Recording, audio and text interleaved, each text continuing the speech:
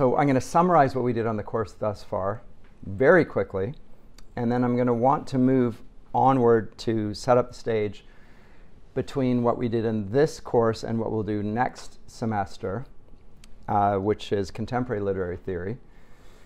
Um, and what I'm going to do is use three writers that are often important for literary theories of the 20th century, but aren't literary theorists per se, but they are vastly influential in the literary theories of the 20th century, in part because of the groundwork that, was, that has been done by uh, the linguistic theorists of the 18th century.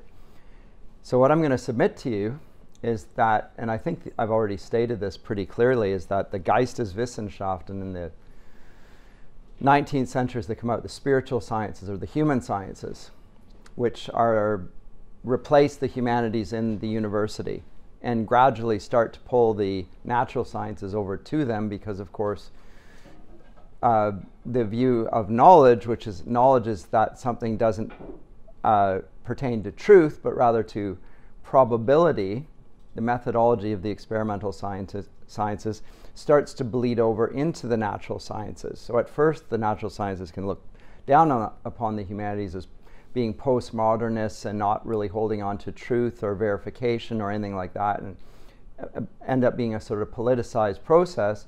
But now we see, even in our day, that uh, even in the natural sciences, we see the, uh, to use the popular term, that the uh, natural sciences are being wokeified, if you will even mathematics and so forth, the abstract forms of knowing. Uh, we're going we're gonna pivot in that direction and show why that is the case. But it is, as I said to you, because in the 18th century there's an attempt to understand language uh, from a human vantage point as a natural aspect of human nature, and therefore to come up with a theory of language that will fit that idea of something that we can study objectively, experimentally, and verify the results. And this is a big shift away from what's been assumed uh, up to that point.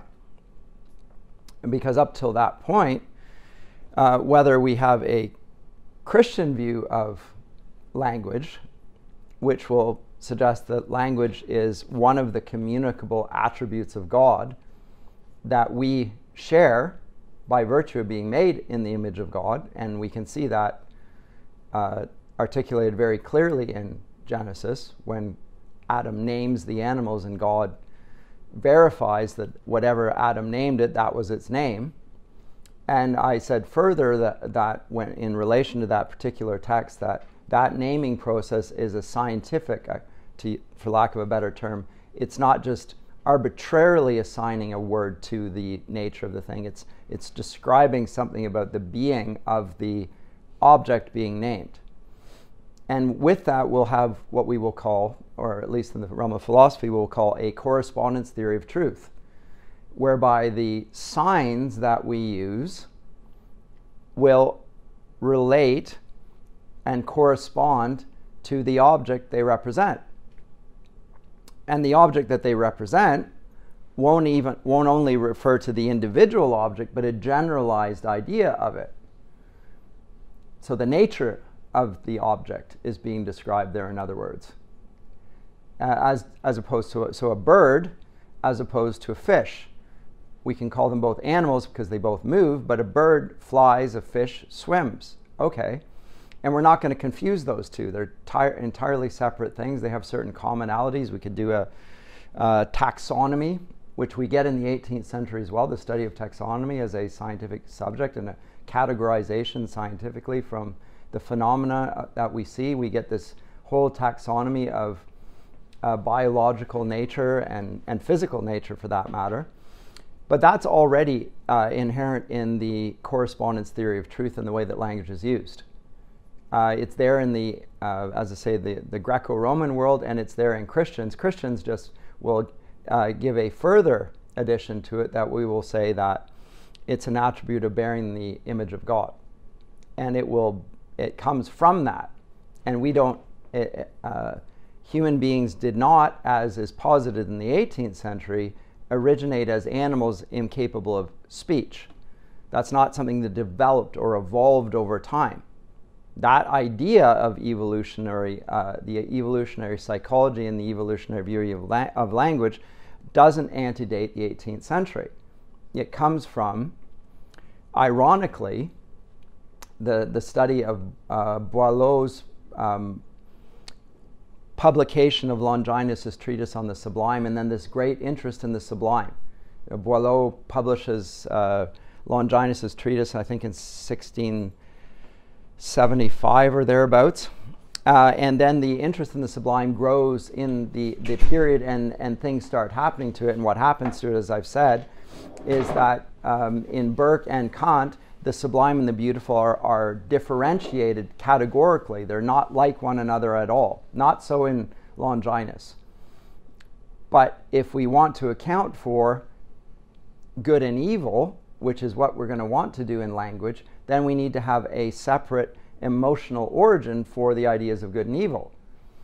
And we can associate the one with the sublime, that is the evil, and one with the beautiful, namely the good that will account for that. And again, uh, Edmund Burke's treatise on the origin of our ideas of the sublime and the beautiful. Note the whole title Treatise on the Origin of Our Ideas of the Sublime and the Beautiful. It's about our ideas of these things. Where do they originate from?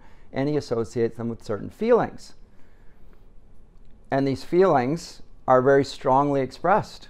More strongly, however, in the, in the case of the sublime which is because it is, so, is associated with, with terror and with extinction, but above all with power.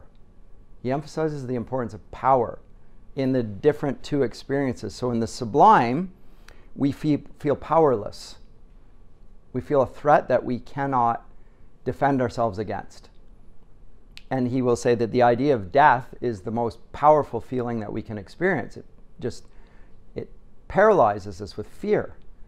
And he says there are certain natural objects that seem to represent that to us, like the grandeur of a mountain like Mont Blanc, which is a sort of a pilgrimage site for the 18th century. They go to the Mont Blanc to experience a natural representation of the sublime. Uh, or you could say a vast ocean, or you can think about a shark beneath the waters in Jaws, where you imagine there's something there, but you can't see it, and it's more terrifying before you see it than when you see it. When it finally comes up, it's it's it's however awful it has big sharp teeth. It's not as terrible as you imagine it to be. But the imagination of the idea of that, which comes from our feelings and our fears, is that sort of uh, genesis for the idea of evil. That evil is something that's going to destroy us.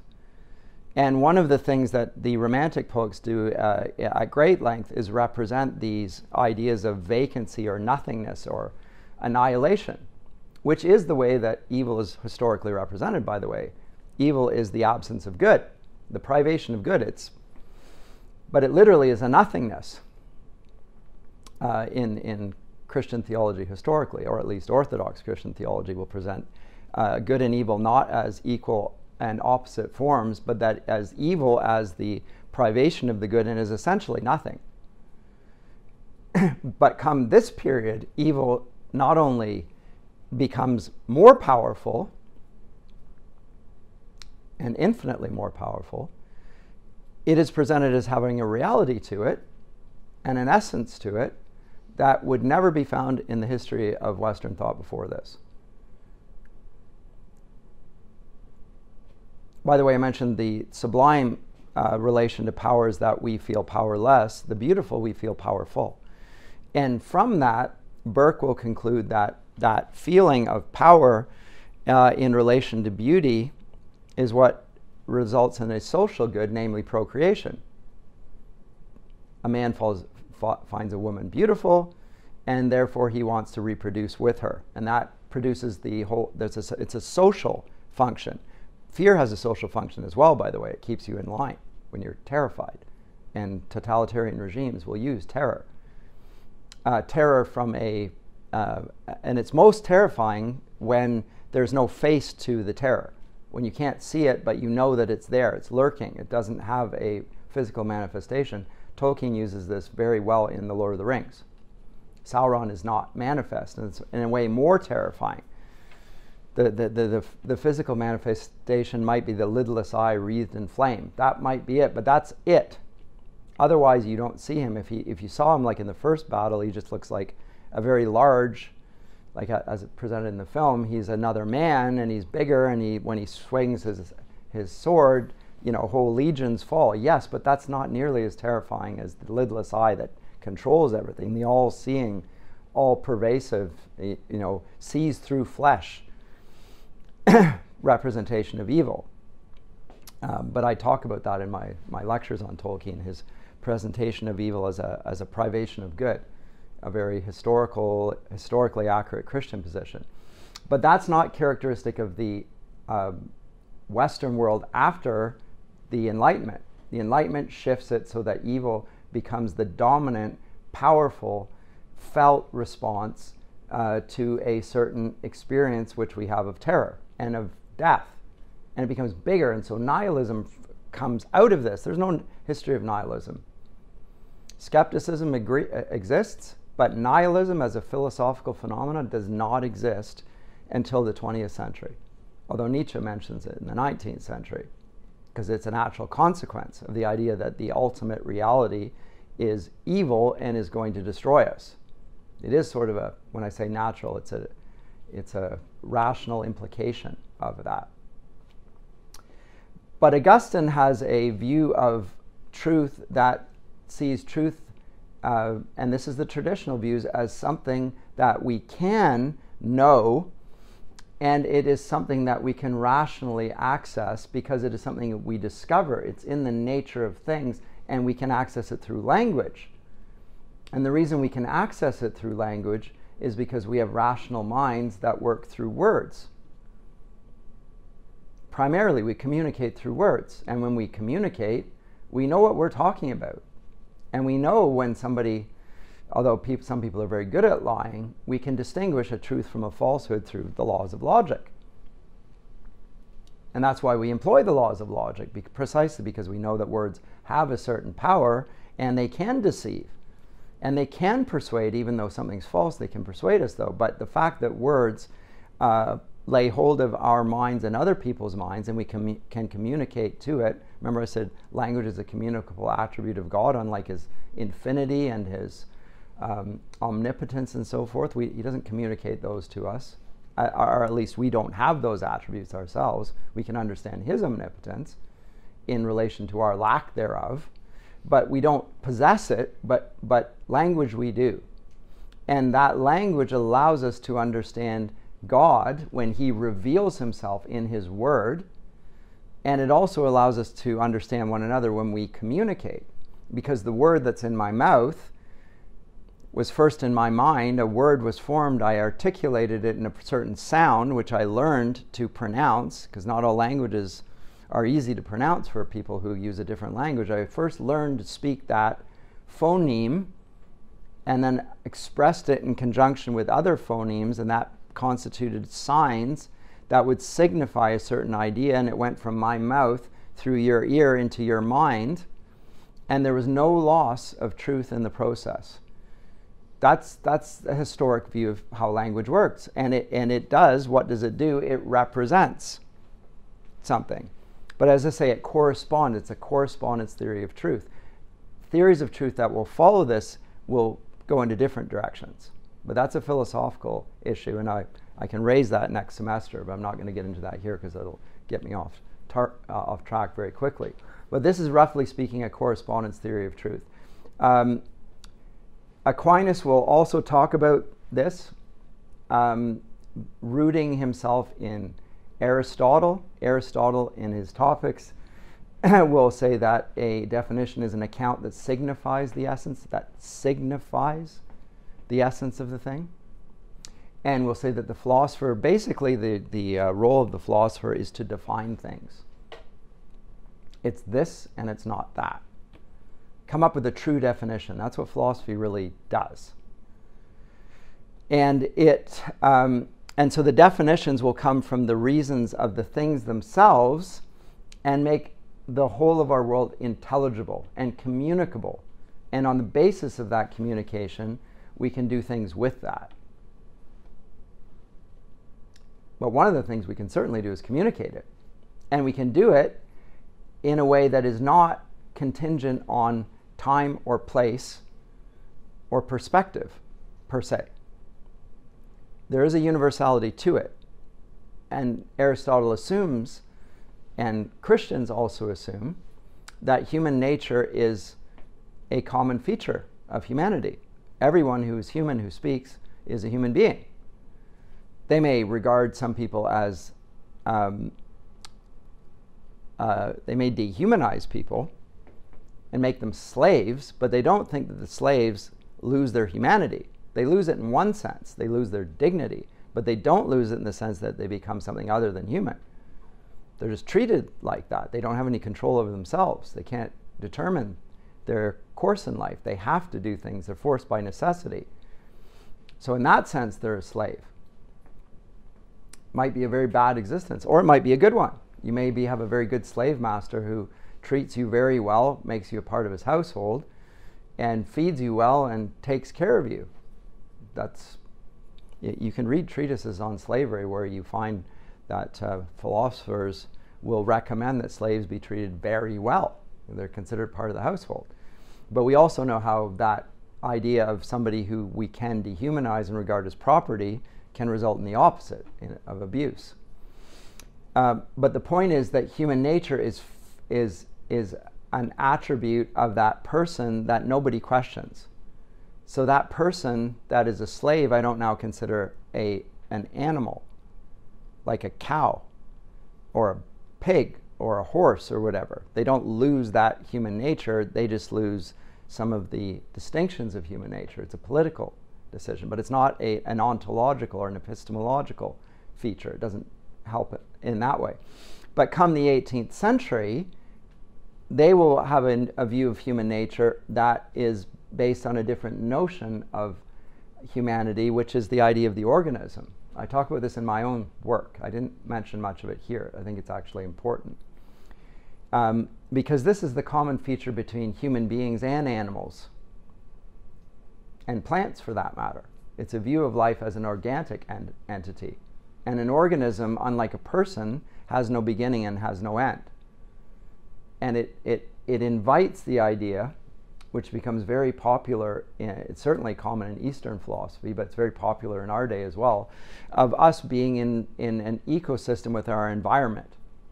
We're constantly in interaction with it. We consume food, the food becomes part of us. We, it's part of the circle of life, that idea.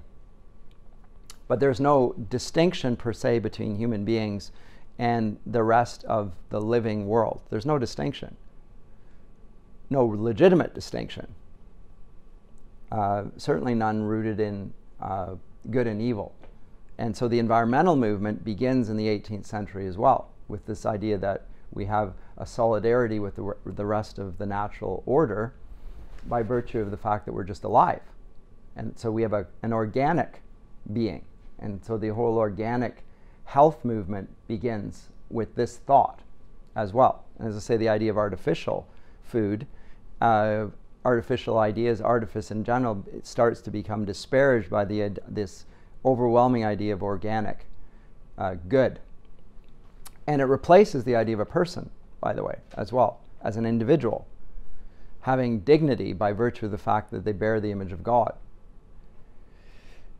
And human beings' uh, nature, then, if it if words no longer reflect the fact that we bear the image of God, what do words relate to then? Because even in the 18th century, words are seen as the distinctive feature of human nature, right? They all say that, it, that human beings speak and animals don't. We recognize that. They'll have to trace it to something else. If it's not the image of God, what is it? And, well, it begins with, in every case, as far as I know, uh, that Early, the earliest language began in grunts and cries from strong emotional responses. On the one hand, of terror, we scream. On the other hand, of cooing and oohing and awing. If there's a baby, you make cooing noises like a, like a pigeon. loving noises, right? But those are strong feelings expressed, the emotions expressed. We still do that with children. We don't actually even need to speak. We make noises, a certain soft noise. With, with, uh, it, with respect to things we're terrified of, we just we don't speak. We scream, and it's a very high pitched scream. Or if we're angry, then it's a very it's a deeper resonance, trying to intimidate. Um, Im, sort of imitating a, a, male voice rather than a female voice. We don't go high pitch, we go low pitch, but we roar. Uh, because we associate men with more physical strength and power, so we want to sound very deep and threatening, as opposed to high pitched screaming, which isn't very, it can be terrifying, but it's not intimidating in the same sense. So we, we match that, register. So at that point, language is in many ways an expression of feeling. It's not an expression, it's not a means of communication in an, a rational sense. It's a means of commu- communication in an emotive sense. Doesn't mean that's wrong. It's, they, they will assert it's profoundly correct. But at, at root, language is a felt response that then takes on words through social conventions. Society will determine what words, so people will start saying, hmm, and the other, hmm, hmm, and, and more articulated, the, lang- the noises say, okay, we want to distinguish this from that, we'll use it through noises, and then those noises will take on a, an articulate, it becomes an articulate sound, that becomes a word, and socially we, we agree that that sound means that distinctive thing. But it starts with feelings and then moves towards something that's more rational. This will give the account of anthropology that will arise. The early cavemen were irrational, emotive uh, beings that had strong senses of good and evil, yes, but they articulated it through force.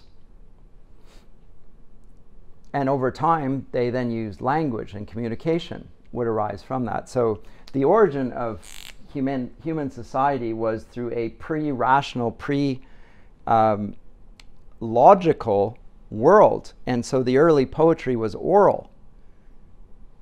And it, it, was more passionate and heartfelt, the earliest poetry. And it was, as I say, not written down. When it came to be written down, now we've moved from the poetic age to a more philosophical age or actually they don't say philosophical at this point, they'll be happy to say theological.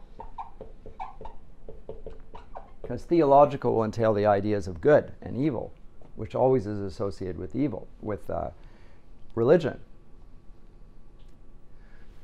So the poetic naturally leads to the theological, but this in turn, and we can see this in terms of Greek poetics, we looked at Plato's critique of Homer and Hesiod, but particularly Homer, he has his chief objection is the portrait of the gods and the, the consequent understandings of justice and moral character. The gods are presented as immoral beings. This cannot be, says Plato. He's not the only one who thinks this way. There's a strong criticism uh, in the of, of the gods in the poets' mouths, and this will give rise to a philosophical age.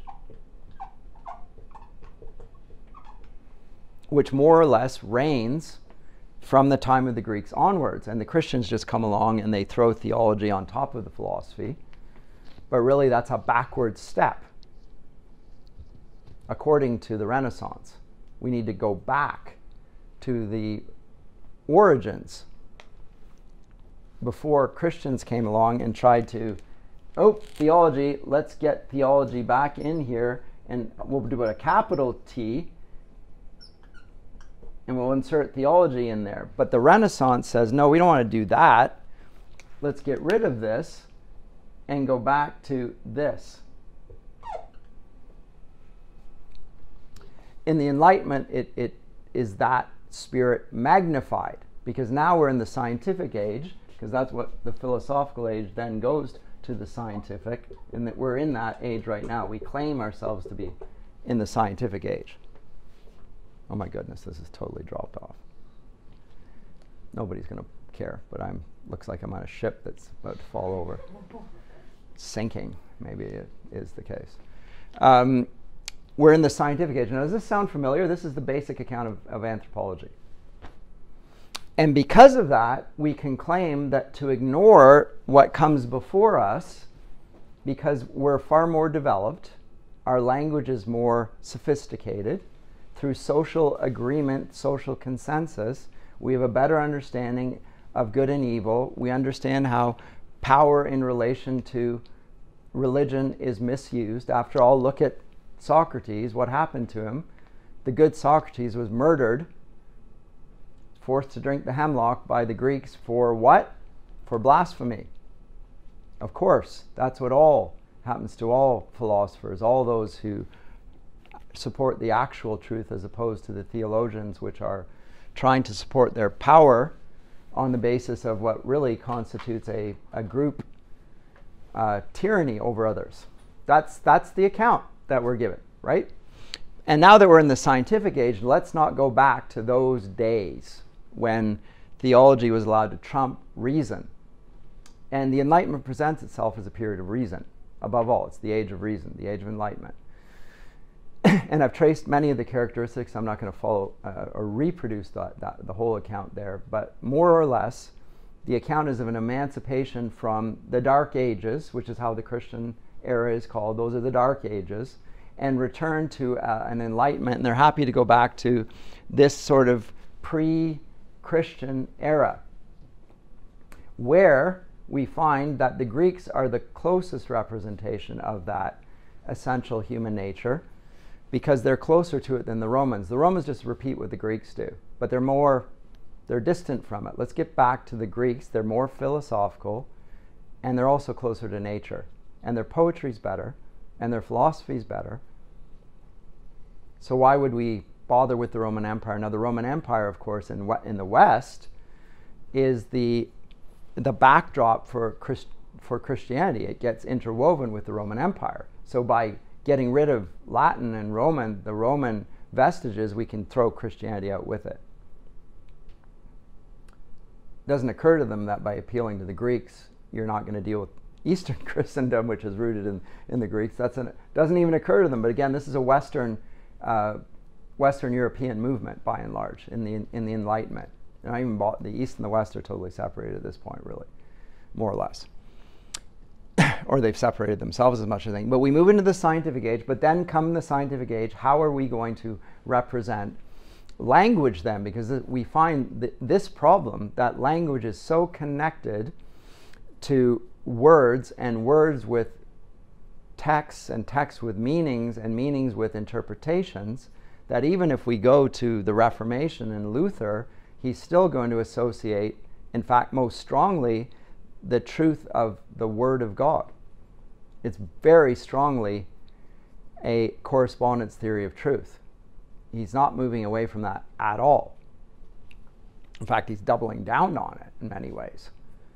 But he's just saying the primacy of this is rooted in the fact that God reveals himself in his word and his words are true because he self authenticates, he appeals to himself. I cannot lie. So if God says it, it is true and he, he swears by something that can represent that, well, there is nothing that can represent that except him, himself. So he swears by himself. It's even there in the, uh, when, when, Moses speaks to, um, hears the voice of the burning bush and asks God who he is, and he says, I am. Tell him that I am sent you. It's a self referential appeal. He self identifies. Only God does this, by the way. Adam cannot identify himself. He can name Eve, which he does. This is not a power play. He describes that she is life. She's the means of life there. So something important is being said about Eve there, whereas Adam is named by God. What he name him? He names him after the clay, actually, which is very interesting and, and anticipates what's about to happen. He's going to go back to the clay. But it, it's also a sort of a hint to Adam don't get uppity.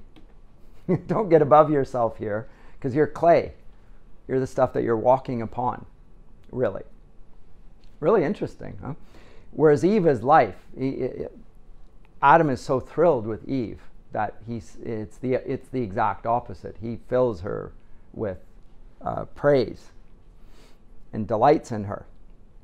But once we get to the scientific era and the view of trying to study language from the vantage point of humanity, divorced from the uh, theological tradition and the idea of truth as a correspondence of signs to things, which goes from Aristotle all the way up to this period, then we have to have a new theory of language. And the theory of language that arises is that language expresses, uh, there's two possibilities either expresses feelings or it's a reflection on rational processes.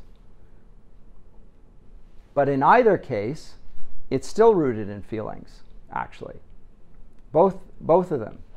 Even, even the scientific, the, the uh, human sciences, still think that words ultimately do not represent reality. They are not corresponding to any reality. They are rational ways of for us to talk about ourselves that we agree upon. It's a social theory of language.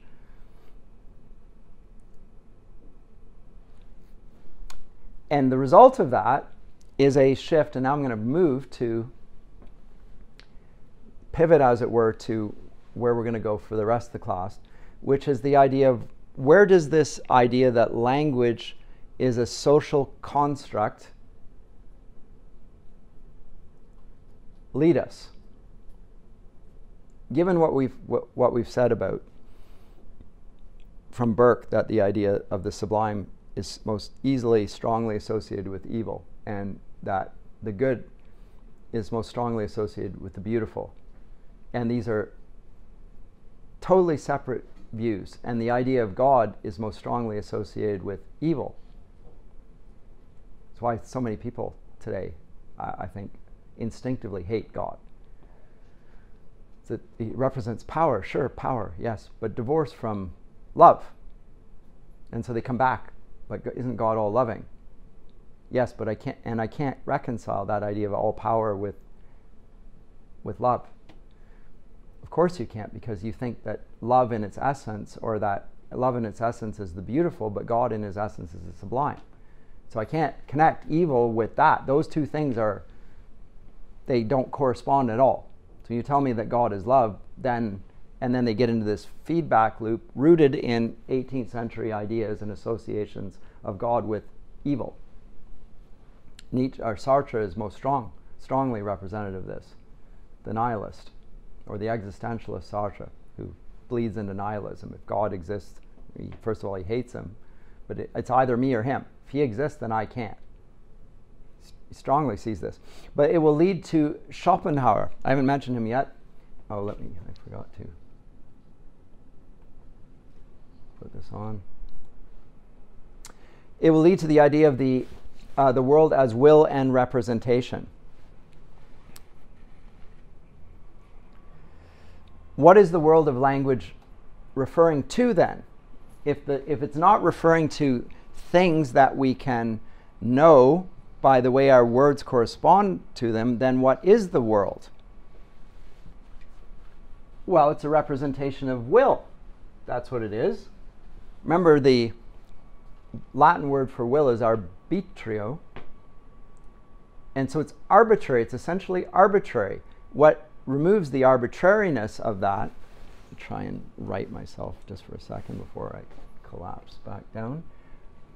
Um, well, now I'm leaning in the other direction, is the idea that uh, what it seems arbitrary and, and just willful on our parts is socially agreed, so we can come to think that the words all mean this. It means this, and we get enough people to agree to that, then of course it has a sort of a fixity and a certitude to it, which it actually lacks in reality. But as long as we agree to it, then the word that's what the word means It's not that Adam says that and that's the nature of the thing. It's rather that we all say that this is that and therefore it is so. We socially will it, we socially agree.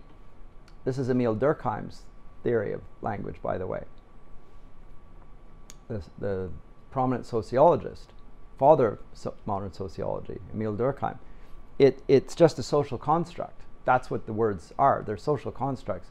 And the society can decide that the words have a new meaning. I, I, just came in this morning hearing the Oxford English Dictionary has new words, the word of the year, and so forth. It's it's adapted itself to an evolutionary view of language here, so that the the latest word that's one of the words of the year is rizz. So I've never even heard. Somebody has rizz. Yeah, you laugh because you know it. I've never heard of it. That shows how out of touch I am with reality. Yep. From charisma. So you anyway, okay, whatever. So you laugh. I've never heard of the word. Okay, but it's the word of the year. As I say, it shows how detached from uh, the world and its representation I am right now. Too caught up in my books. Um, but that idea, that word is a new word. And they will say if it's used socially enough, then we'll include that in our dictionary.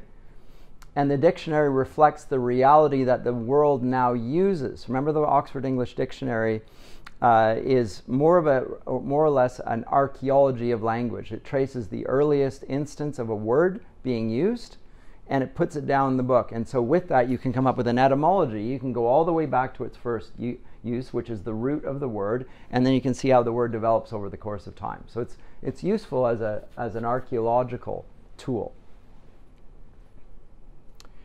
But the importance of it when it was first founded is we want to get back to the roots of words, because the root meanings of words would be the original sense, not the debased misrepresentation of the words. And so this is why a man like Tolkien or Lewis or most of the people in the 19th century wanted to go back to learn old languages because the old languages got the real sense of things. There was a sense of the fall of language. And the words then were meaningful, not emotional grunts and cries. That's a different that's the the origins of the Oxford English Dictionary. Now it's moved into an evolutionary phase. And it sees a different spirit to it. Now it expresses society as we want it to be, and the way we want it to be is ultimately the way it is because reality conforms to our desires. Because the world is what we will to represent. That is just what language is it's an arbitrary representation of the world as we see it. So Schopenhauer begins with Kant and says that the world's only comprehensible with the aid of the constructs of our intellect. And he cites three space, time, and causality. But he, he uses Kant's ideas and, and applies them. And these only show the world as an appearance. This is how it appears, but it never is. So Schopenhauer, who presents the way in which the world presents itself to us, is yes, rooting himself in Kant, but again, 18th century theories of language. It's not a correspondence to any truth, it's not a correspondence to anything. The sign actually points to other signs, a group of words that relate to other words but never actually relate to things. And if we think they're sufficiently important, we might give them uh, the, the, the language of good and evil, or being or non being, or that's God and that's the devil. But that isn't really that thing, it's just how we feel about those things. So your God can be any God you want it to be, and he may look like you want him to look and be like you want, but ultimately, the, the thing in itself is unknowable. Kant agrees on this, that in fact it's at the center of his things. Das Ding an sich is unknowable, thing in itself. Um, so, from that view, that what language is, is an expression of social will represented in the terms of a language, which never touch the essence of things, and therefore they don't communicate truth. They communicate desire. We get different thinkers, and we get three in particular.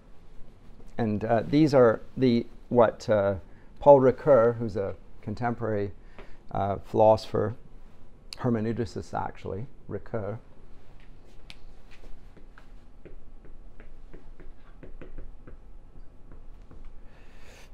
calls the three masters of suspicion. Because now we see a, an emergence of something very new in, in Western thought.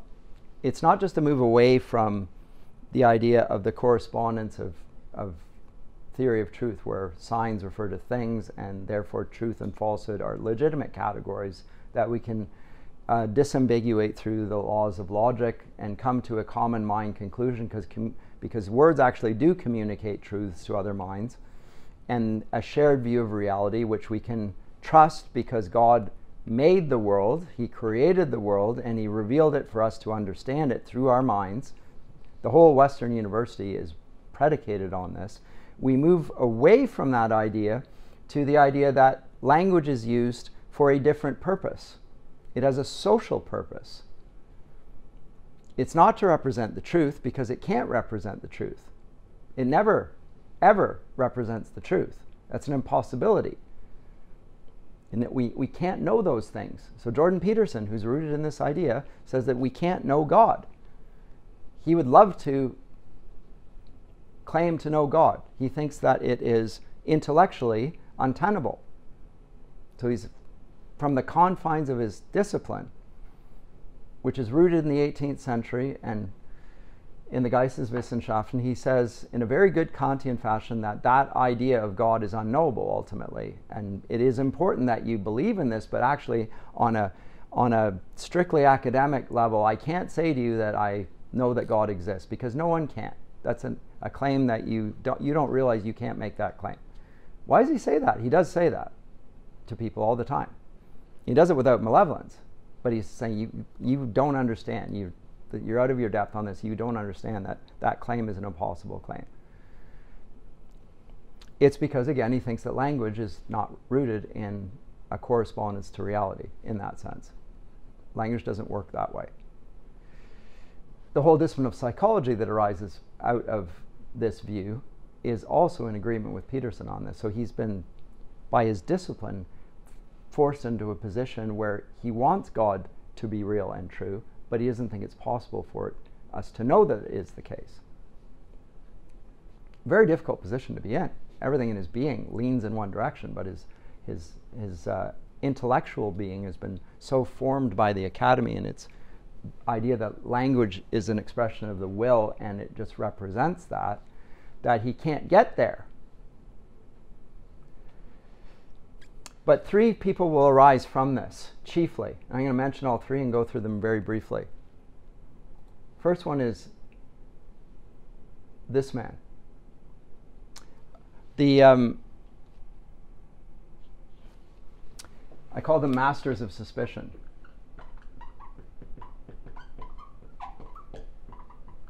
Now, there's a difference here between suspicion and doubt, by the way. Descartes in initiated the the system of doubt, right? And thus skepticism. I doubt, therefore I think, I think, therefore I am. So the whole scientific world is predicated on doubt.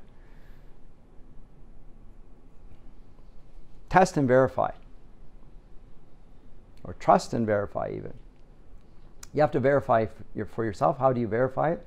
through experimentation. Use the scientific method. That's how we will make certain. We will make certain with our with our own two eyes through observation what is true and false. Now, unfortunately, this the uh, scientific method, if it requires the things or the the physical empirical realities as the uh, verification process, can never come to make claims about God, because God is an invisible being. But for that matter, we can't even verify from that vantage point, we can't even verify that our minds are real or our souls are real. And many people will dispute them on that basis. They, will again adopt the epistemologically correct view according to their worldview that those sorts of things that are very important historically, we'll acknowledge that, but we ultimately can't know them. We have to be agnostic on those things. Does God exist? Do human beings have a soul? Is there a meaning and purpose in those life? I don't know. I can't know. Um, but Nietzsche will be one of those that will come out of this not with doubt, but with suspicion. And suspicion is based on the bad motives of others. So it has a different character to it. There's a, there's a negative negativity to it that is a different feature because the language is socially produced and socially constructed, it relate, I relate to society differently. And I'm suspicious of the motives for this. So now, in this, from here on, the masters of su- suspicion, Nietzsche,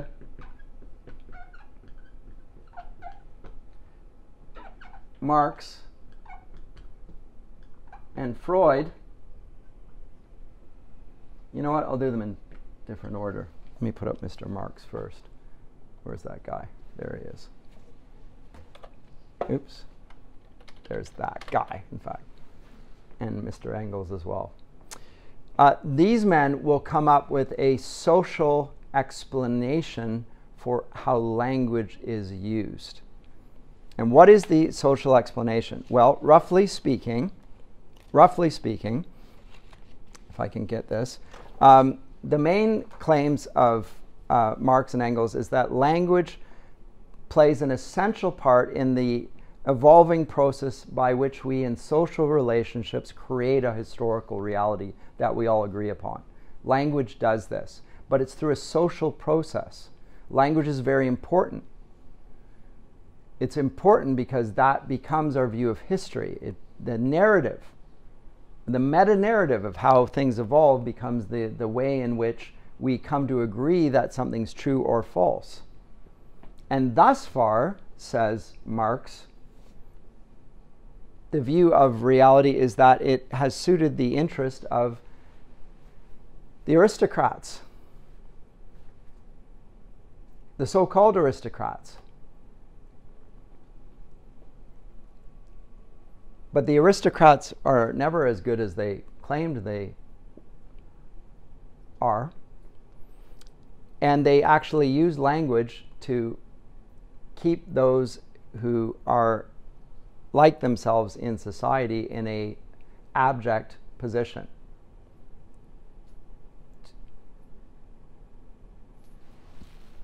And the purpose of this, because this is one of the books, Communist Manifesto, the other is Das Kapital. Das Kapital re- reveals the true motive, and the, the true motive is money.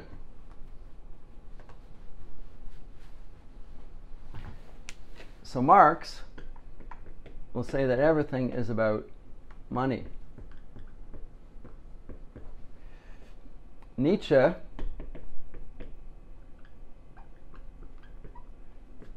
is going to say it's all about power, and Freud is going to say that it's all about sex. This is the motive for all three. And that is the, the lens through which their suspicion is lodged at the way language represents history. All three of them share a common suspicion. But the, but the ground motive of that is differently attributed. Now you can connect all three, by the way. It's easy to say that it's all three of those. It's money, sex, and power. All three. Money, sex, and power explain everything. Let's see if I can find this. Just blank this for a second in case it does something weird on me. Where is this? Uh, don't want that. Want that. Oh, it didn't even bring it up. How annoying. Go away. I had a nice. Give me two seconds here.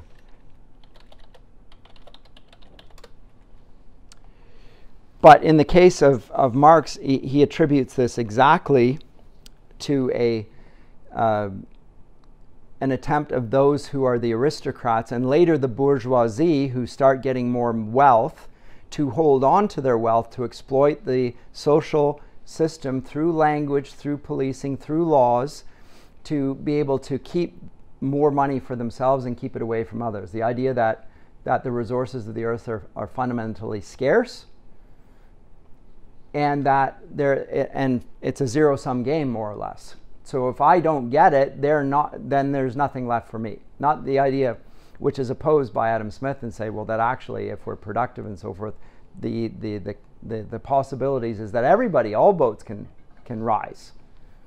But ultimately there's a sense that in both cases that reality is a material thing.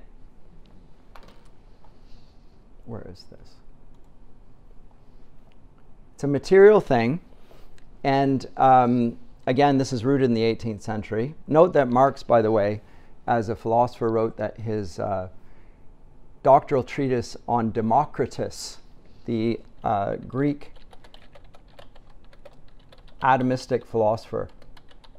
And the atomists regarded, um, oh, I can't even do that. It's so annoying.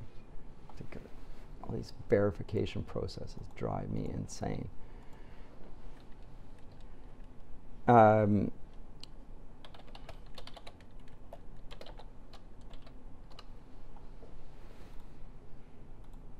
this should work.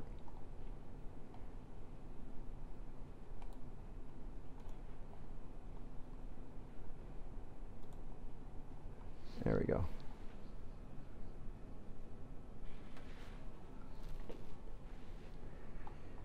They're all going to root this in physiological needs. Need, Marx is the, is the ground floor. Our, our real need is of this. Well, we need air. So we need, we need air, we need food, we need water, we need shelter, we need clothing.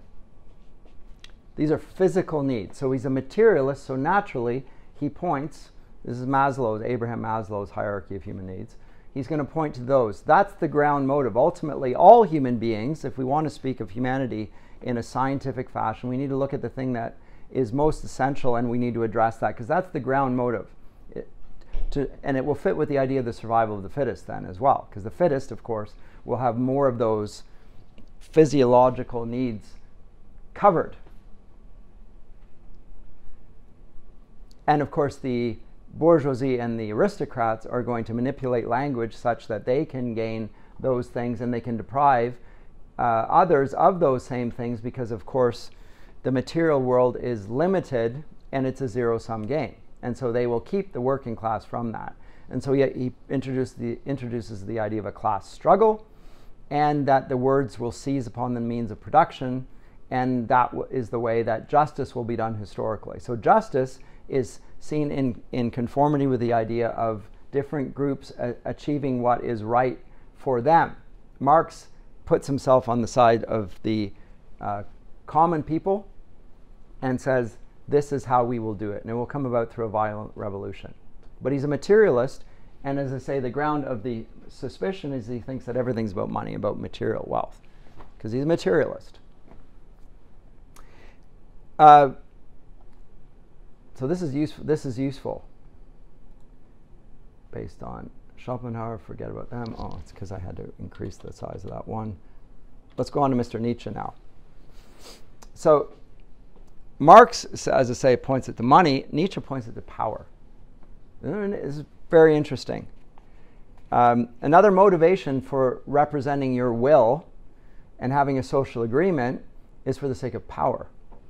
Now, Freud or Nietzsche is the first one that is famously connected with this, but we can also see it in a 20th century theorist by the name Michel Foucault, the most cited researcher in uh, Western academia for the past 40 years, Michel Foucault, who is a, a, a gay man who wrote a history, he called it an archaeology of knowledge, in which he again used the motive of power in relation to sexual orientation and so forth.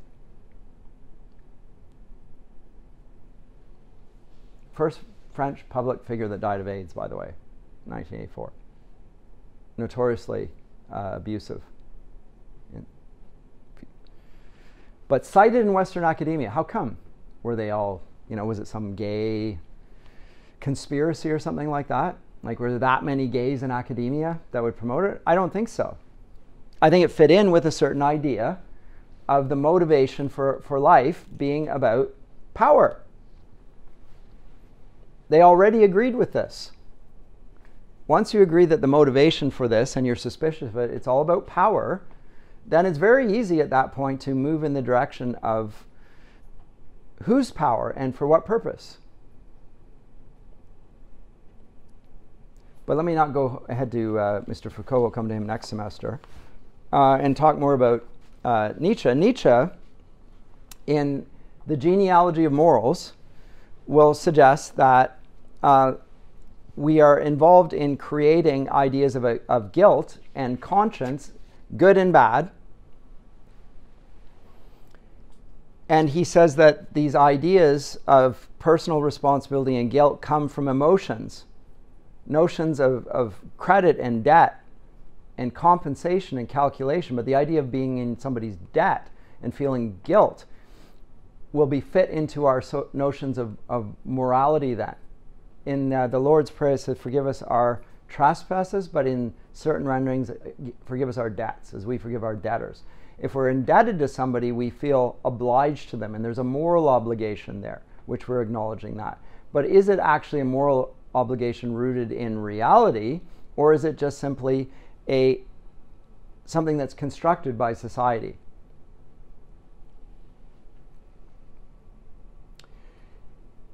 So Nietzsche also suggests that human conform, uh, communities form initially on the basis of security, these sorts of hierarchy of human needs, safety, security, step up from Marx, love and belonging, self esteem, all these things arise from it. Well, Nietzsche's the next step up in his uh, uh, explanation of, of where these things. So they come up with the same mechanism of deb- uh, debit and credit. A person gets protection and peace and comfort from living in a community, and they pledge to behave in a certain way to that community in return. And if they don't, the community will collect the debt in another way. They'll put you in debtor's prison because you've broken your promise to the community. And as the community uh, grows more powerful, the deviant actions of one individual are less threatening to the community's existence. But early on, if one person who is a trusted individual has that sort of uh, responsibility of debt to the community and he doesn't isn't faithful to his debt, indebtedness, then the community itself is going to be destroyed. But as human, human societies evolve and get bigger and bigger, um, it shifts the motivation or the punishment for this instead of inflicting pain on that person or exiling them or killing them, which we see in the case of Socrates, the community just isolates the criminal, puts them in prison, shuns them, isolates them. But when the community becomes threatened or weakened, harsher punishments come back again and if there's a perception that, the, the, that there's not just one individual, individual, but a whole host of individuals that are doing this, then society will use its language to again start to police language to bring in harsher sanctions. And the modern penitentiary system will rise out of this.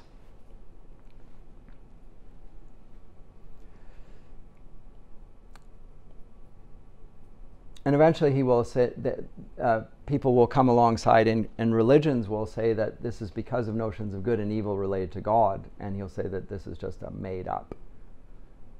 Um, as, as the human community gets bigger and bigger and bigger, and the social conventions get richer and richer and richer, he thinks that that um, religions start to want to um, give clarity where before there's actually less clarity and say to hold on to the idea of good and evil, they say that these are absolutized from our notions of moral nature. And we, we project those upon this being called God, whom we can't know and we say exists.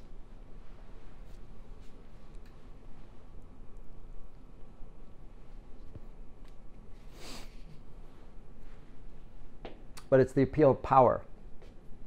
And the, for Nietzsche, the hero, the Übermensch, is one who has a will to power. And the will to power will put him outside and above the group.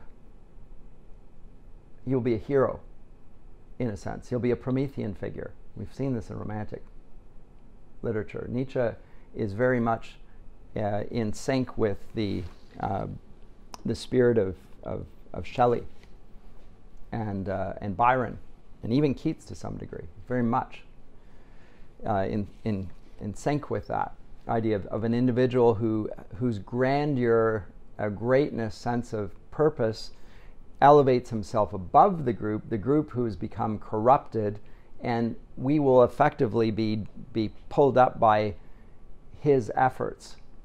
A great hero figure.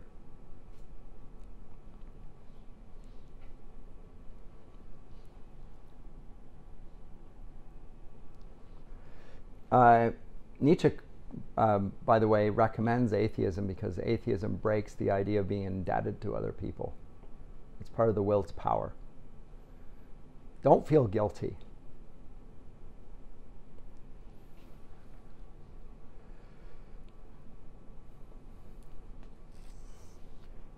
Because if you if you do feel guilty, eventually you're going to turn that upon yourselves and you're going to think that you're evil and you'll never be able to repay God. And so you will be afflict yourself with suffering. You become a masochist. Or you'll blame other people. You'll be a sadist. You'll inflict that on other people who you think have weakened you in some ways, and you'll take it out on them. The idea that God atones for our sin and pronounces us free, Nietzsche thinks is ridiculous. Although he, he himself traces the effect of guilt in uh, people's psychological actions. So, in this sense, he's the figure that lies between Marx. Remember, Marx, who's dealing with the lowest realm of the physiological needs, he moves in the direction of here, Nietzsche, power related to safety, security, but even love and belonging, because of course at that, that point, and even all the others for that matter, these are more extended. So these are less material, they're more spiritual needs. And now we'll introduce our third thinker, this man, Freud. That's a hill, don't you think? In the foreground, that's a hill, right? What do you see, you pervert? Well, according to according to Freud, what you see something there?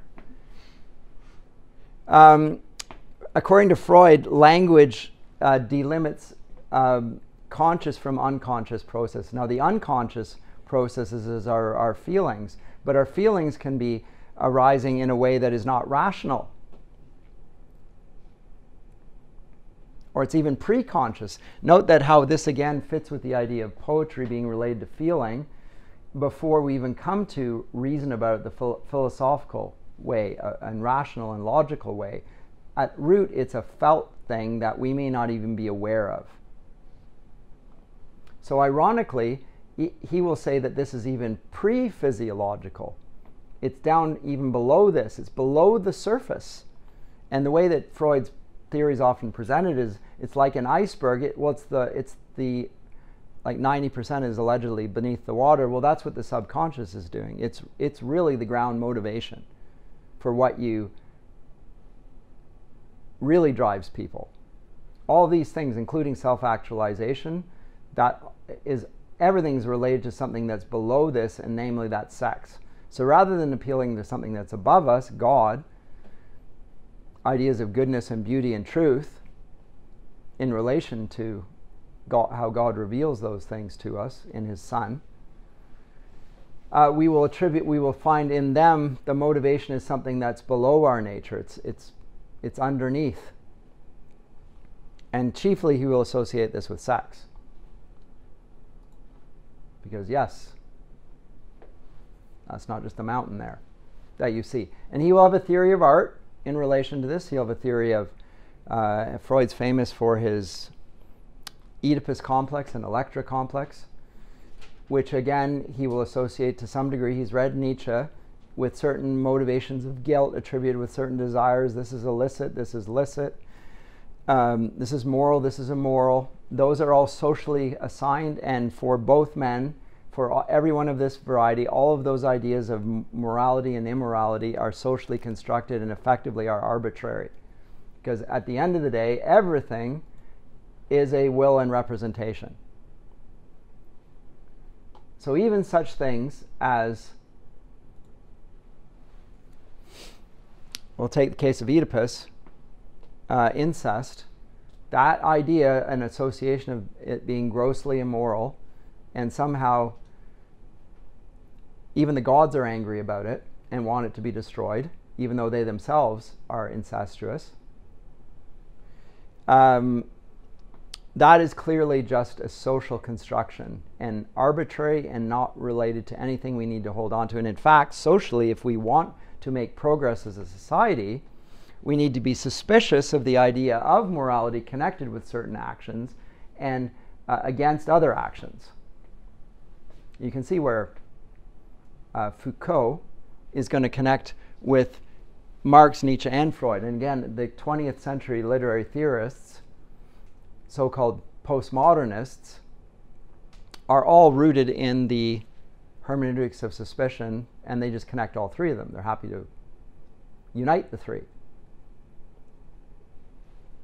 Because after all, the hierarchy is one being, and, and Freud just says there's something below this that's motivated that we can't see. Well, he has to, because unless you're a materialist, you have to attribute something outside of this. And some people can attribute to language, but again, what does language represent? It represents something that we can't know. Well, the something that we can't know is the motive for our wills, and the motive for our will has to be one of these three things. Everybody's in agreement on that. So, Maslow's hierarchy of human needs, uh, note that as it goes upwards, it becomes less and less physical and more and more spiritual. It becomes more like morality and creativity and spontaneity and expe- acceptance and meaning and purpose. The Viktor Frankl meaning. It arises once these, but it's a higher aim. A Christian view is that actually meaning is connected to all of these things. It's shot throughout because meaning is connected to God's purposes, and God's purposes are to provide for our physical needs as well as all of our spiritual needs because it doesn't divorce the two. They shot throughout every physical activity is also a spiritual activity.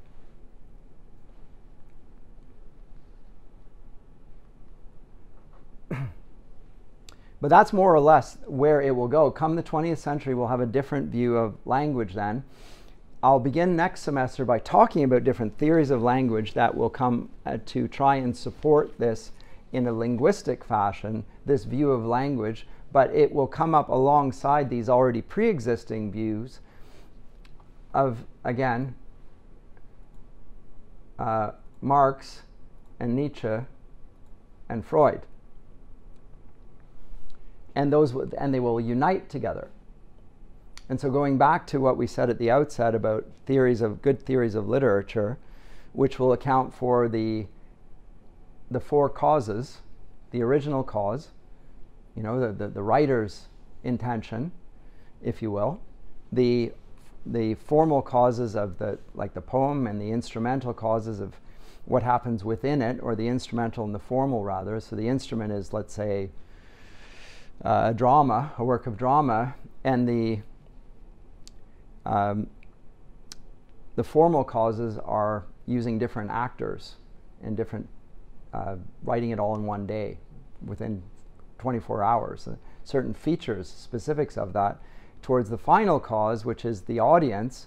These are going to start to construct worldviews. This we so this is why these become powerful. They start to assign a, a purpose to the original thing and also a, a, motive for the text as well. It will spiritualize it, and this is why they become particularly powerful and difficult to controvert.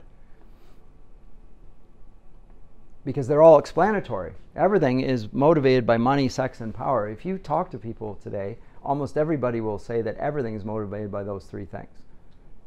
Every motive. Now, they have great deal of difficulty, all of them, with things like charity with Christian, the idea of doing things for or loving your enemies, the agape love. They have they have enormous difficulty. In fact, they can't deal with the atonement. The atonement breaks all of these things. And in fact, Christians like myself came to faith in part because the idea of the atonement absolutely destroys the motivations ascribed by these three men.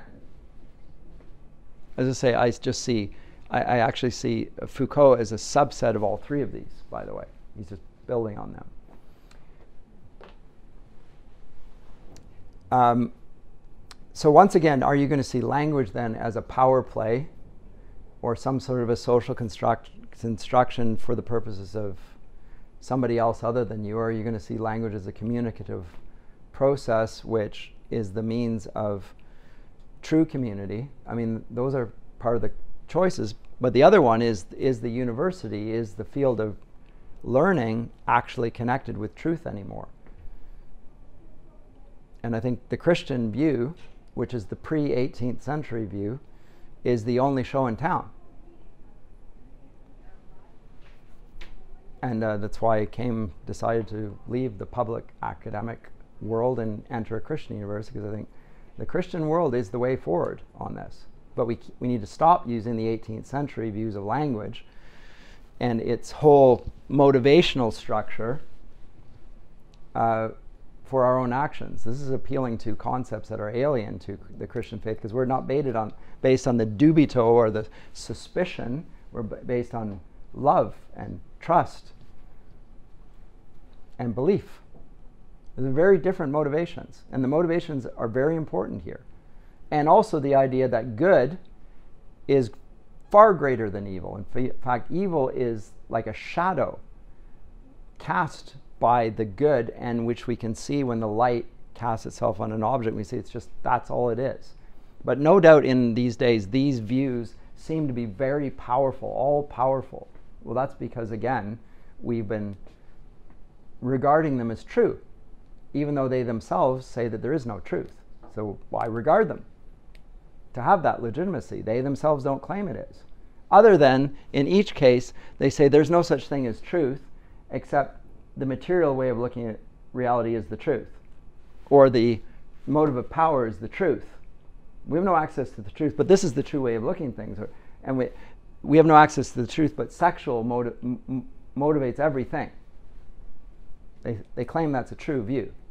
So they contradict themselves. And they have to, because only when it's a truth claim does it have any legitimacy and purchase on people's minds. So we need to be more epistemologically self-conscious ourselves about what we believe and why we believe it and how it relates to these other views. But we'll deal with that next semester, and we'll we'll try and uh, bring some of the stuff we learned this semester into that, and hopefully it will equip us to go uh, engage with the world going forward. Okay.